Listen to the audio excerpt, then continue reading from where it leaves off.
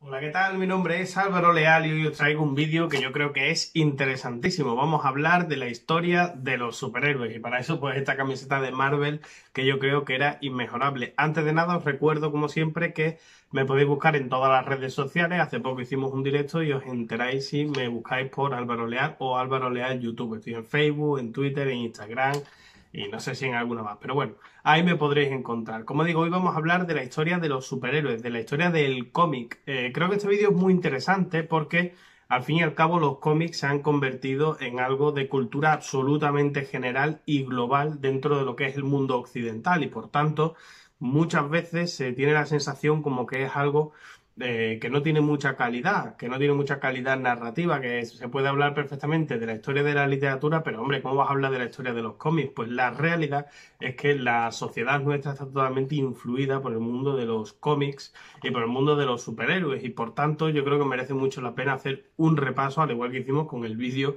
de historia del reggaetón, pues merece mucho la pena hacer un repaso. Así que vamos a ello. Lo primero que tenemos que decir es que el mundo del cómic se divide por eras por etapas o por edades, ¿de acuerdo? La primera, os voy a decir así para que la tengamos, está la Edad de Oro, que va de 1938 a 1945, la Edad de Oro, que es donde surge el, superhéroe como tal, la Edad Atómica Oscura, que va de 1945 al, al 56, es decir, desde el final de la Segunda Guerra Mundial hasta el 56, la Edad de Plata, del 56 al 70, luego la edad del bronce del 70 al 85, es una etapa muy cortita, y la época moderna que va del 86 a la actualidad, ¿de acuerdo? Así que tendríamos la edad de oro, la edad atómica oscura, la edad de plata, la edad de bronce y la edad moderna, ¿vale? Cinco etapas dentro de lo que es la evolución de los superhéroes y dentro de la evolución del cómic. Y por supuesto, dos grandes compañías enormes que son DC y Marvel, Bien, pues ya que tenemos esto puesto así por encima, vamos a empezar un poco. ¿Qué es el superhéroe? El superhéroe es como un héroe clásico, es decir, es la persona protagonista de una serie de peripecias.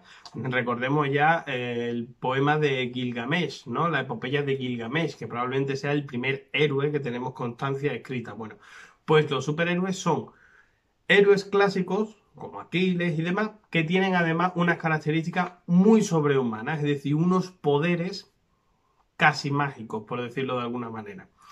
También, además, están muy influenciados por la ciencia ficción. Es decir, los superhéroes están dentro del mundo de la ciencia ficción. Aunque, como veremos más adelante, luego ha habido algunos superhéroes que se han ido llenando, haciendo mucho más denso y enraizando en el mundo eh, normal en el que vivimos, como es el caso más claro de Batman. Pero bueno, en principio los superhéroes son simplemente un personaje de ficción cuyas características son sobrehumanas y además está enraizado dentro del género de la ciencia ficción.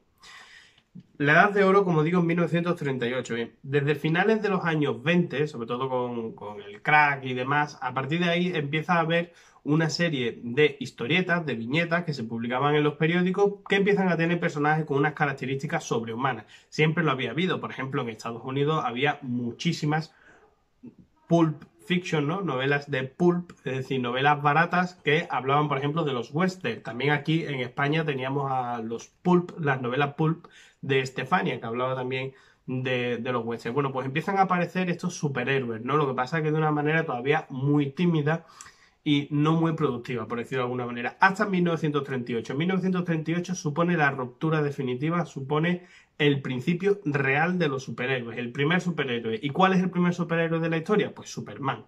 En el año 1938 DC crea a Superman, que se convierte ya en un fenómeno que va a durar hasta nuestros días. Estamos hablando desde 1938 hasta nuestros días, es decir, ya son muchos años de Superman.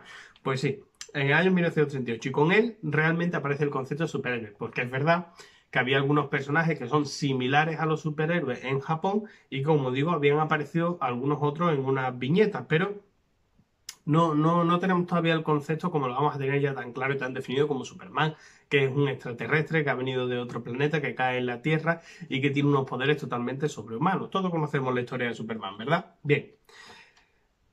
En el año 1936, Lee Falk hace The Phantom, que es dos años antes de Superman, que es un personaje muy parecido a los superhéroes ya en cuanto a su vestimenta, ya no solo en las características que tiene, sino en su vestimenta, ¿vale? Estamos hablando de 1936. Ahí aparece The Phantom, que algunos consideran que es el primer superhéroe, pero desde luego no tiene las características tan definidas como las va a tener Superman. Y por, de hecho, si pensamos dónde ha quedado The Phantom y dónde ha quedado Superman, pues vemos muy claro eh, que, la historia de superhéroes empieza ahí, ¿no? O por lo menos todo lo que ha venido después empieza ahí, en 1938.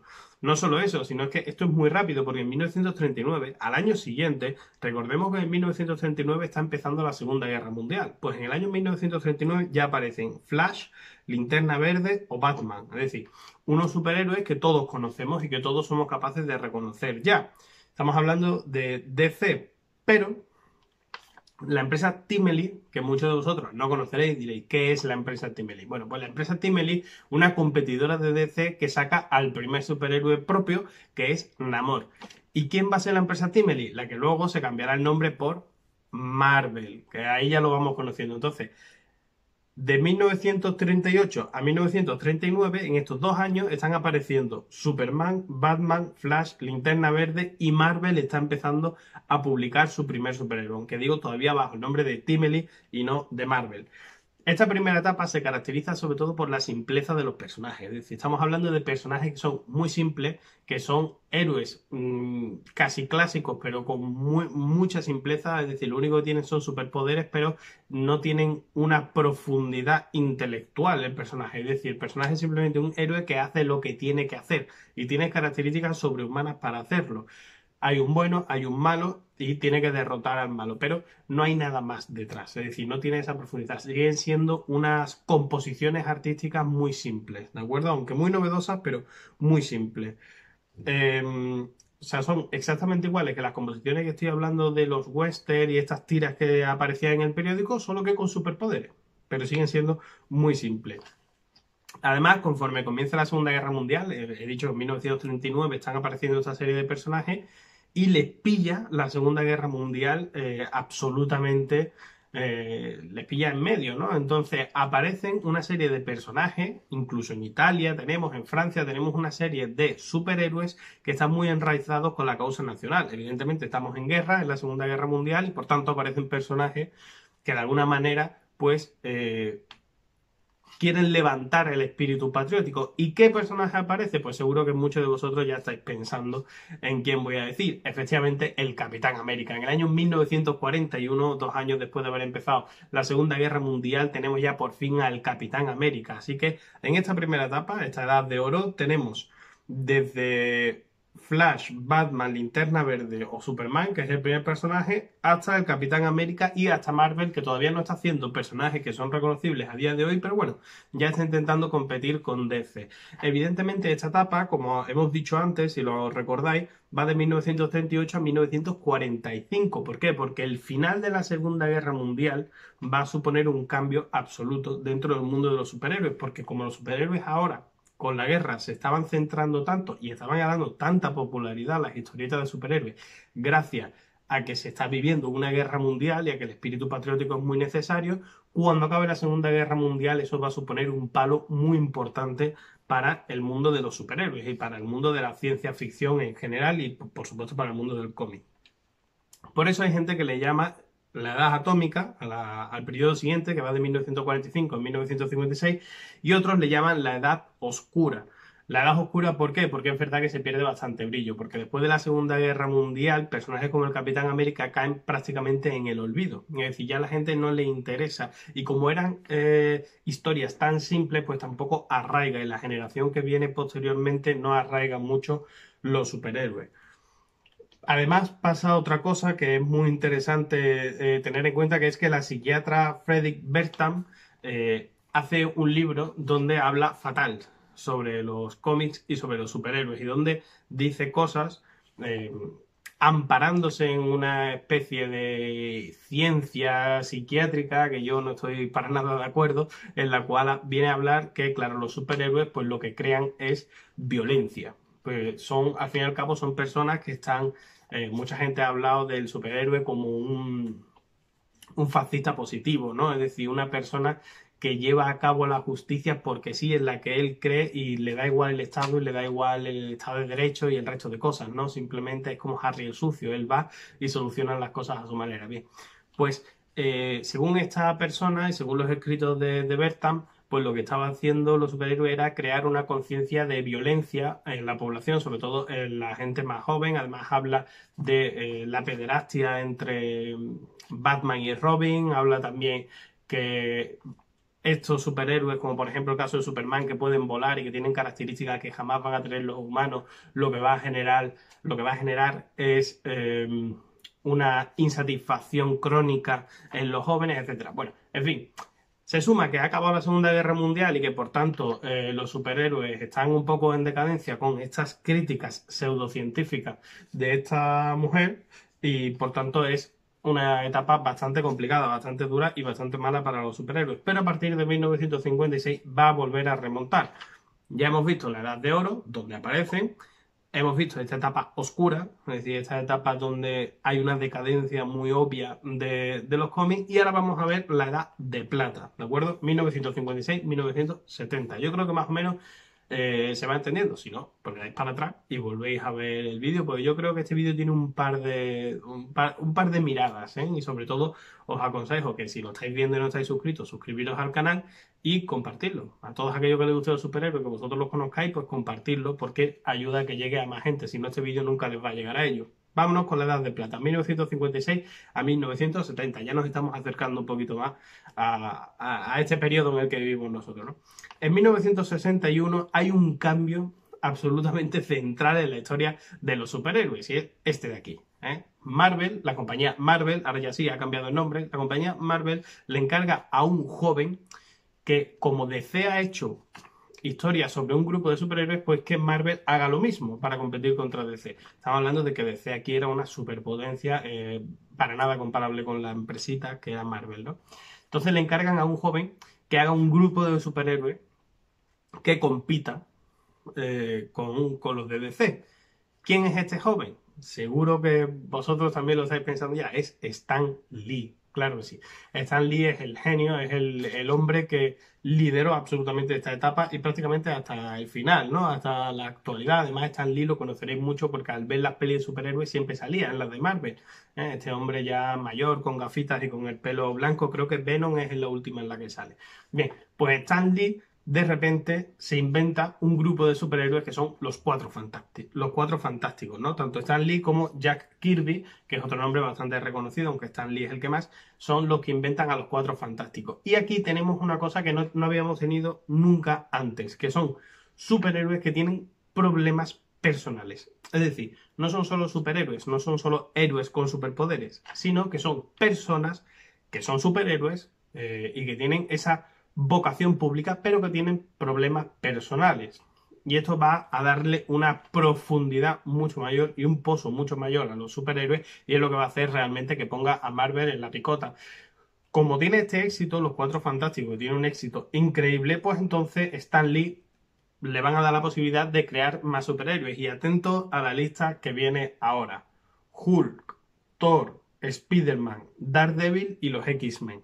O sea, es decir, aquí es donde se están ya sentando las bases entre el 1956 y 1970 de lo que son los superhéroes que conocemos ahora. Recordemos que al principio ya había habido algunos como Batman, como Superman, como Linterna Verde o como Flash, ¿no? Los de DC.